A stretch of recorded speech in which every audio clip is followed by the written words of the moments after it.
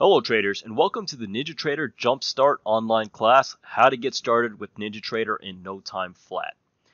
In this video, we're going to go ahead and walk you through how to download and install NinjaTrader and also how to set up your trading connection in under 5 minutes. Now a couple of important key notes that I want to go over first. First of all, NinjaTrader is always free for charting, so you don't have to buy to unlock its charting capabilities. The free version has the ability to install and use any of the NinjaTrader indicators, so go ahead and download the NinjaTrader platform so you can get started. Now, real-time and historical data for Forex is always free, and futures data has end-of-day historical and market replay data available that is always free as well. Now, you can get real-time data through a trial period for 14 days just for futures. After that, if you want to subscribe to it, then it'll be $55 a month. For stocks, there's no 14 day trial, but you have the option of going into NinjaTrader and setting up a stock data feed for your NinjaTrader platform. Alright, so now I'm going to show you and walk you through step by step exactly to what you're going to see and what to do after you click on that link right below this video here. So the first thing you want to do is select your asset class between futures and forex. Just go ahead and click on whichever one that you like. You're going to go ahead and put your name in here. Put your phone number in here as well and go ahead and put your specific email in here as well. And then go ahead and click on the country that you are from. You have to go through this area here as well and go ahead and get started.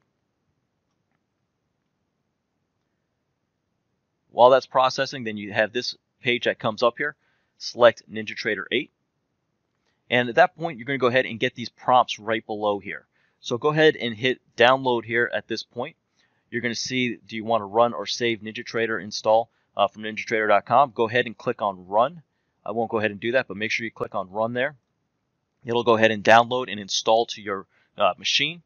And then as far as that goes, you're all set. Now, if you need a connection guide to connect to live data, uh, then you can go ahead and download this as well. But you will receive an email including your username and password to connect to NinjaTrader Continuum once received, click the button below for setup instructions. Now, I'll go ahead and walk you through that step by step next. So once you've downloaded and uh, installed NinjaTrader, go ahead and open it up and then go to Connections here and go to Configure. Once you're in Configure here, you want to go to, if it's Forex.com, if you signed up for a Forex feed, go ahead and populate it down here. And you'll see, I'll say Forex.com, um, but this one has a 1 since I already have one here as well. Uh, go ahead and populate it there. Go ahead and recon uh, you can call your connection whatever you'd like. I would leave this blank here, connect on startup. Go ahead and manually connect every time. Put your username and your password here, and then go ahead and hit OK, and you're all set there. Now, if you have a futures data, uh, you can go to NinjaTrader Continuum. I already have one here, and go ahead and put the connection name, whatever you'd like. Again, leave this one blank. Go ahead and connect to it manually here. Put your username, password. If it's a demo, go ahead and make sure that's demo. And uh, you can include in Forex, but I'll go ahead and leave that one off here as well. And then once you're done, hit OK. I'll go ahead and cancel that for now. And you'll see that the connections are here. So you have Forex.com and NinjaTrader Continuum.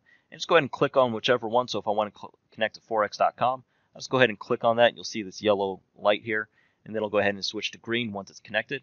And you're all set and ready to go. Now, if you see a little red light here, it just means that you're not connected go ahead and go back into connections, go to configure here at this point, and make sure you go through here and make sure you have the correct login data for both uh, if it's Forex or NinjaTrader. Now, if you uh, trade stocks here as well and you signed up for a trial for futures data, again, go through Continuum again and make sure that's connected. Uh, but if you have uh, interactive brokers or IQ feed, for instance, uh, you'll notice all the login information here.